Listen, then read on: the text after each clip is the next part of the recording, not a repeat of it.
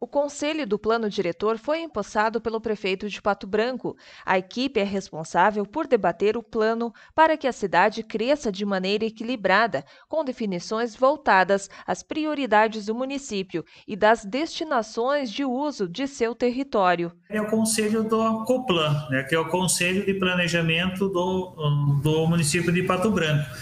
Então, esse conselho reúne é, uma dezenas de pessoas da sociedade civil. O plano diretor trata-se do documento base de orientação da política de desenvolvimento do município, por isso precisa ser muito bem elaborado. O plano diretor ele, ele é aprovado em um determinado momento e aí tem prazo de 10 anos de validade. Então, durante esses 10 anos de validade, pode surgir algumas, algumas situações em que o plano não está contemplando.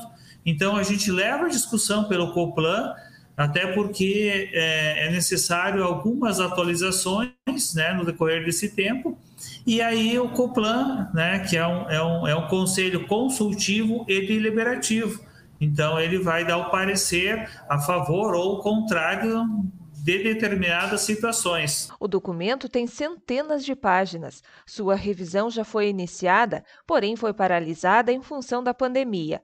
O secretário de Planejamento Urbano, Gilmar Tumeleiro, disse que o trabalho já está sendo retomado a partir do que já foi feito anteriormente o Ministério Público aconselhou que a gente retome as audiências públicas no formato híbrido. Né? Então, algumas pessoas no formato presencial, mas que também as outras pessoas né, é, no formato online pudessem estar participando também desse debate.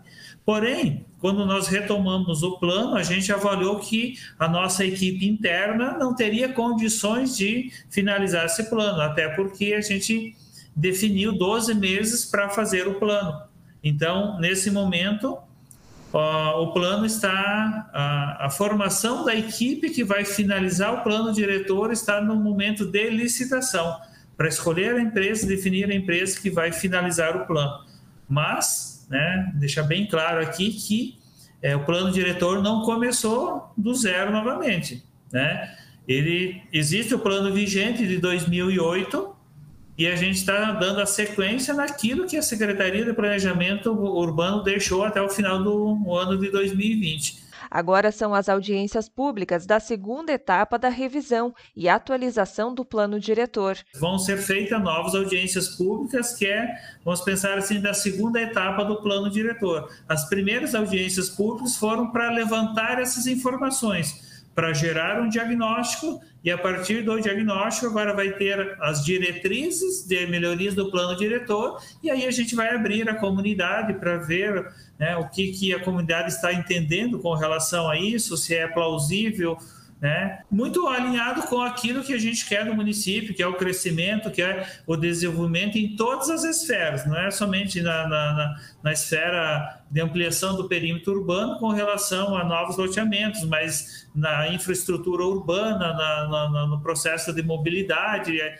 O secretário acredita que devem ser retomadas essas audiências nos próximos meses. Depende um pouquinho da equipe que vai assumir pós-licitação.